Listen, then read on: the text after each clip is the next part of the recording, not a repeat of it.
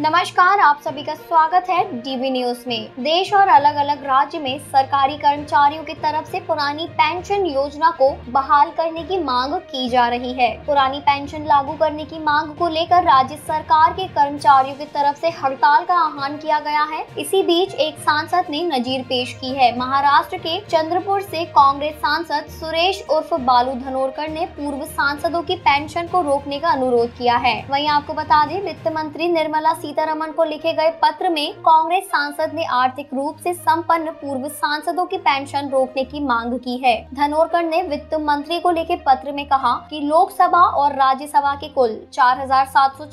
पूर्व सांसद पेंशन ले रहे हैं इसके ऊपर सालाना सत्तर करोड़ रुपए की राशि खर्च की जाती है कांग्रेस सांसद सुरेश उर्फ बालू धनोरकर की तरफ से कहा गया कि करीब 300 पूर्व सांसदों के आश्रित परिवार को भी यह वित्तीय मदद मिलती है ऐसी ही खास खास खबरों के लिए बने रहें डीवी न्यूज के साथ